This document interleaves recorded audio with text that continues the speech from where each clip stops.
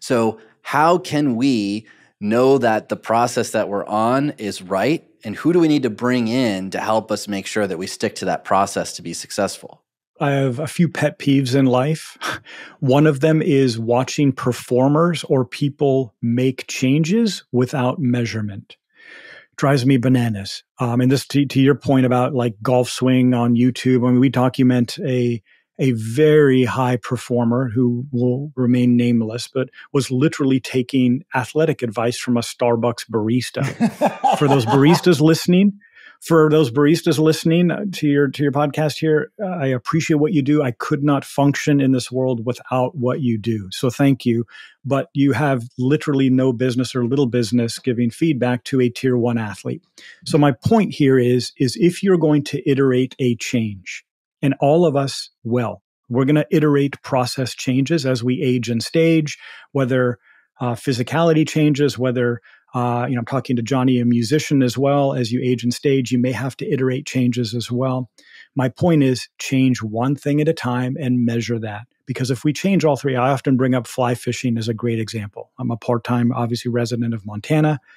Um, I love to fly fish. There's only three ways. If, if catching fish is important, and it isn't, I catch and release, I really don't care. But if catching fish is important, there are really only three ways that you can catch fish, right? Where on the river, how many casts, and the type of fly you're using. If I don't catch fish and I change all three and I start to catch fish, how the hell do I know why? So I think it's important to really adopt an iterative process. I'm going to make a change. I'm going to measure that. I'm going to bounce it off valid and vetted board of directors or coaching staff or the people I trust in my life. And then I'll measure it and then make another change if necessary. Now, Alan, you brought up contingencies. And for some of our audience members, and sometimes myself included, it can feel like catastrophizing to think about all the contingencies and all the things that can go wrong. So, how do we put together a contingency plan that will actually work to better our performance and not bog us down in a negative mindset that might keep us from taking the actions we need to. I don't see why it's catastrophizing to be prepared uh, because things go wrong. Um, it's as simple as you're giving a presentation and so, uh, it always happens. Suddenly your your laptop decides that's the time to reboot and download the latest install, right? And now you got to kill 20 minutes so be ready for that. Have a second laptop. Be ready to do it on a whiteboard, what what have you, and think through these things. What if this happens? What if that happens? Uh, it doesn't mean it's going to happen. It doesn't mean you have to focus on that happening, but it reduces the stress because when that happens, you go, "All right, I'm ready for that." Uh, I gave a, a speech last year at a conference, and I practiced that speech. I was ready to go, and I was two thirds of the way through it, and boom, I forgot what was next and I did not prepare for that contingency. So I, you know, I muddled through it. I figured it out.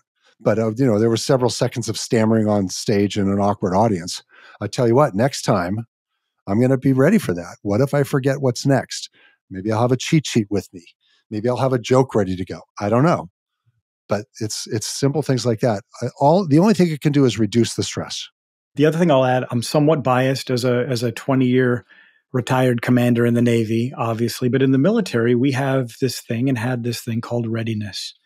I think outside of the military, aviation has it. You want your pilot and co-pilot to be, you know, very well versed in multiple contingencies if you're 35,000 feet or 36,000 feet above, you know, Earth. In medicine, I hope none of us have to go through surgery, but when you go through a surgery, there's a medical team that has multiple contingencies in place. So we often view contingency planning as just kind of something that the really high end astronauts, surgeons, Navy SEALs do. I actually say false. I scream false. I think all of us can can iterate and be ready with multiple contingencies. The the good thing about having a contingency plan is it ideally won't cause you to catastrophize. Instead, it causes you never to exhibit the human stress response. If I have plan A, B, C, and D, and plan A and B die on the vine, and I had no plan C, I'm going to have stress. I'm going to be Alan on that stage going, oh God, now what do I do? Or if I have this plan built, it seamlessly flows into not a big deal. So I think, you know, for the, the listeners, I would invite you to also you know, start to build in contingency planning into everything that you do.